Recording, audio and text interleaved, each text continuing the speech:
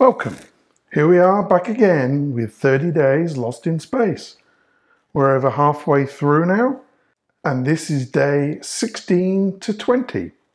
In this, we're going to be looking at another couple of components.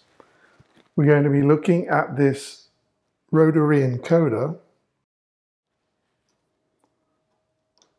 and we're going to be looking at this seven segment display.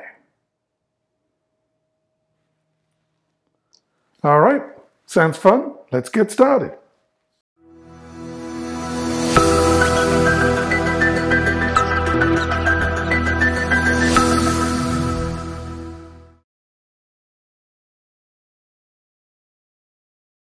Here's the circuit for today's lesson. We're not using the breadboard at all. We're simply connecting the seven segment display straight to the hero board. There's four pins on the display. Ground, which is the black, plus 5 volts, which is the red, and there's a DIO and a clock pin. And those are connected here on pins 5 and 6.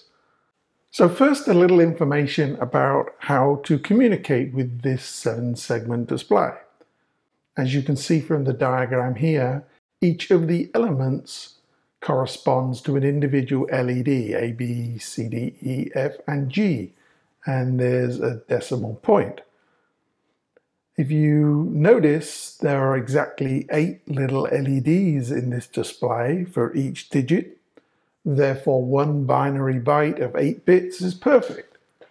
So we're going to communicate with the display by setting the bit corresponding to which of the little segments we want lit and that will be sent over the DIO pin, the digital input output pin, and synchronized by using the clock signal. So let's take a look at the program. But first, we need to download a special library to help us talk to the display. And if you remember, we did this for the keypad in an earlier lesson. We had to install a library into our Arduino.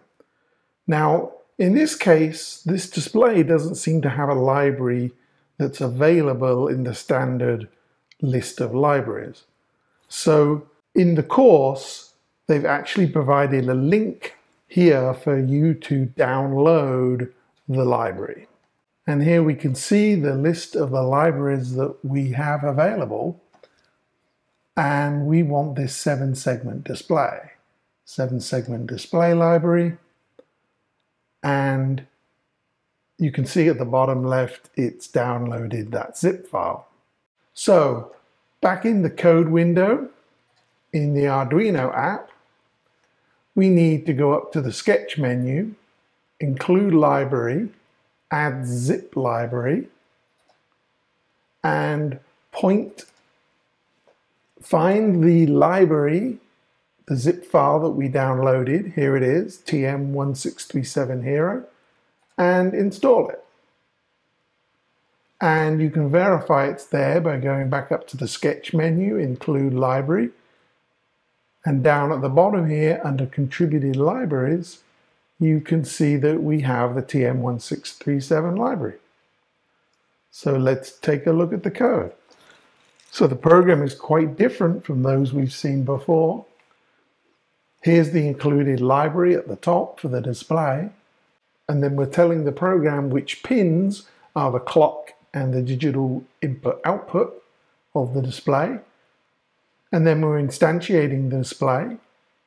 And then we just have a couple of shortcuts here for turning all the segments on and blanking them.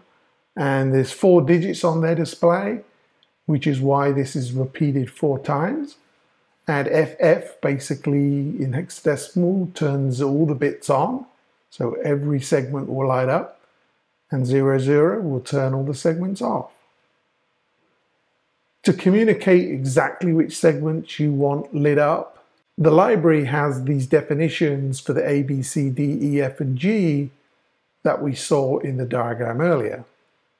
And so this short array here is basically defining the segments to make the word D-O-N-E, done. So in setup, we clear the display. In the loop, we set the brightness of the display, we turn all the segments off and wait a minute, and then we turn them all off and wait. Then we have a counter that loops around showing a series of numbers. And this function here, show number dec, is the library knowing itself which segments to turn on to display decimal numbers. So it'll do all that for us. Then we wait, we clear the display, we wait, and then we put up the message done. And that's it.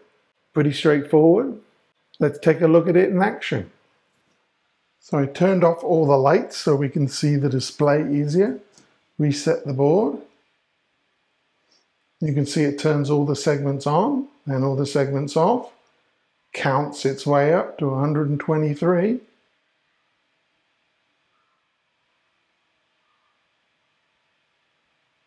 Then clears the display and then lights up done. That's it for this lesson. We now know how to use a seven segment display and it's pretty easy, right?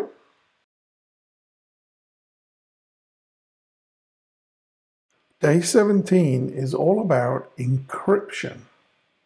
I guess the idea is that our communications from the spaceship should be encrypted. So take a look at the code for this day's lesson. And it doesn't make much sense, does it? It's just a bunch of random letters. Or is it? In fact, we have to decode this. So I'm not going to show you anything about this lesson. Uh, you're just going to have to decode it for yourself and see the message that it gives you on the display when you're finished. So have fun with that.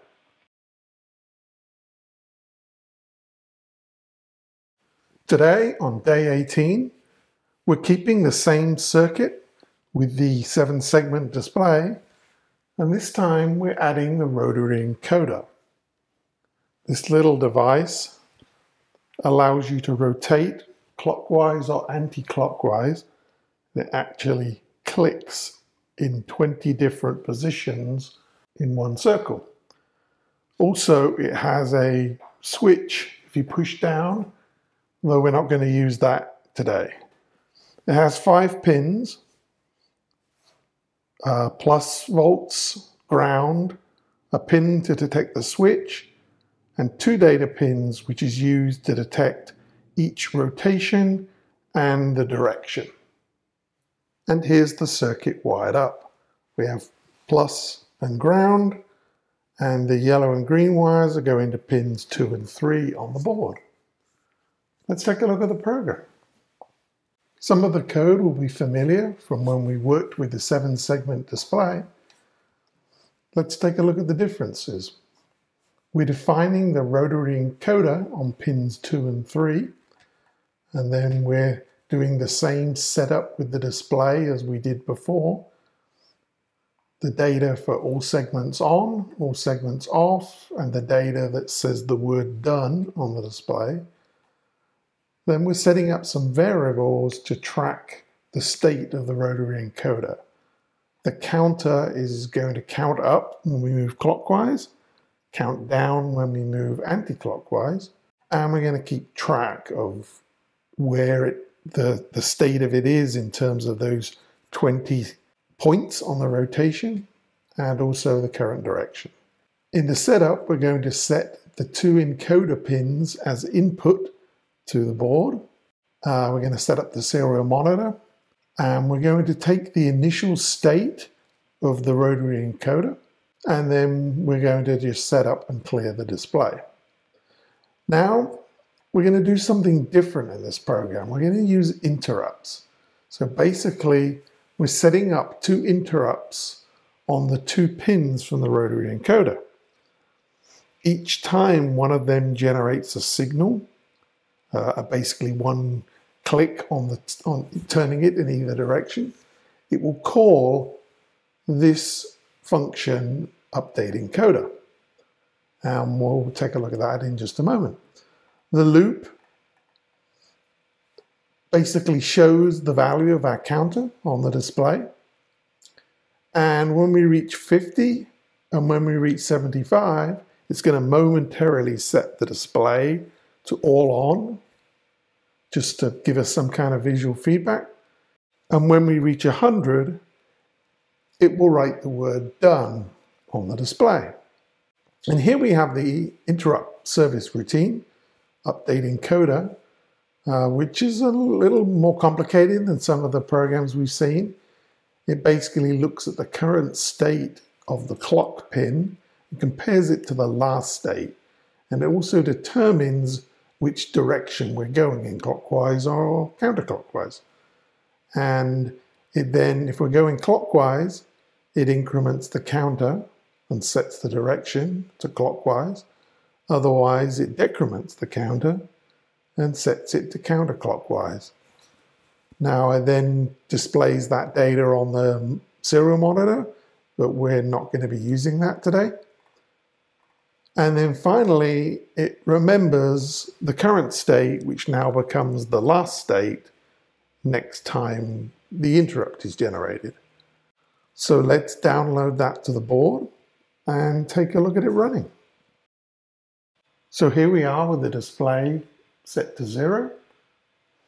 And as I turn the rotary encoder clockwise, it should increase.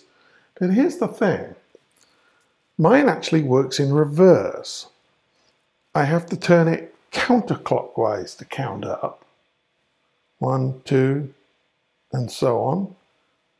And clockwise turn decrements it. And I can go negative negative 4, 5, 6, 7. And I can't figure out why it is that mine's reversed. Be interested to see if you have this same problem. And if you encounter it, let me know in the comments below. Anyway, it doesn't really affect the demonstration, so let's just go in the opposite direction. So as I count up,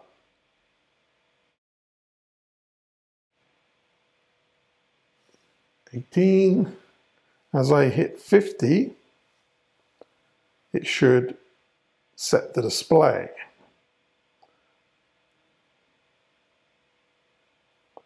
Thirty-nine.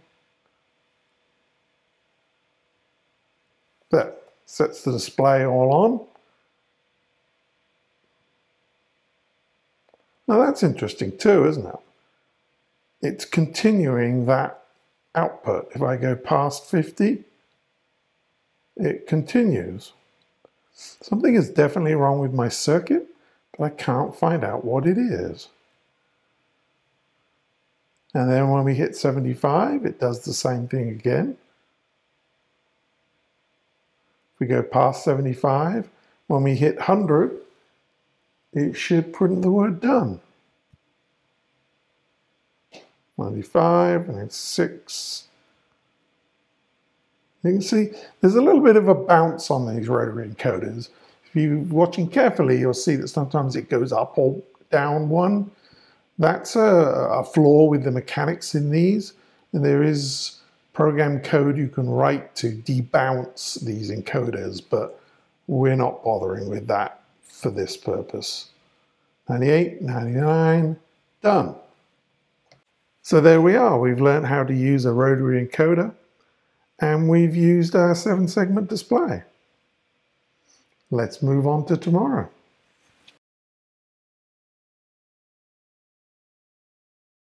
Our circuit today on day 19 is exactly the same as the one we've just played with, with the seven segment display and the rotary encoder, except this time we've added the buzzer from a previous lesson. And the theory behind this lesson is that we're going to use the secret codes that were generated on day 17. Now, if you remember, I didn't give you any solution or video of day 17 because you need to decode that for yourself. And when you do, you'll get some secret codes. The idea here is that to program the inertial guidance computer of our spaceship, we need to play tones that correspond to those values so hence the buzzer. Let's take a look at the code. Nearly all the code is the same as that that we just looked at in the previous day. So I'm not going to go into any of those details, but just point out the differences. So we've defined three secret values, which were defined in day 17's lesson, that you'll have to find out for yourself.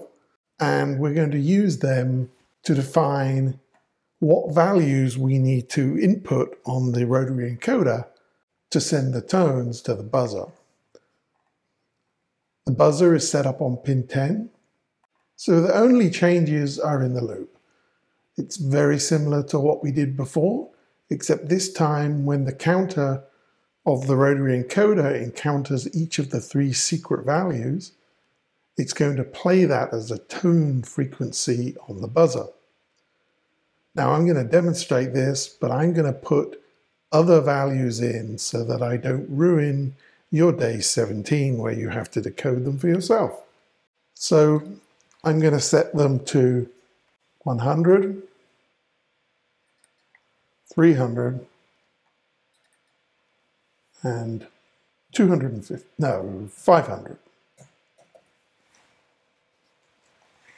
So let's take a look at this running. So here I am, I've rotated it up to 97, 98.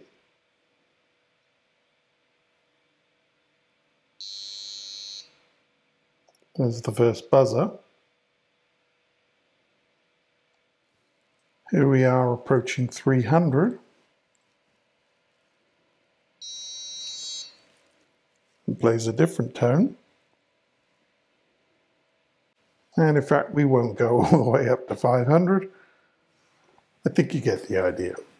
Okay, that's it for today.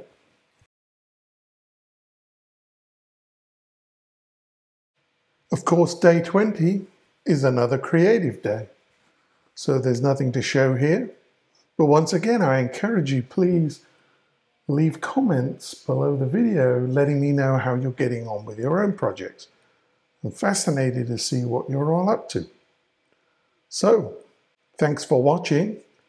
If you're enjoying this series, please like and subscribe. It helps the YouTube algorithm. And I'll see you in the next video. Cheerio for now.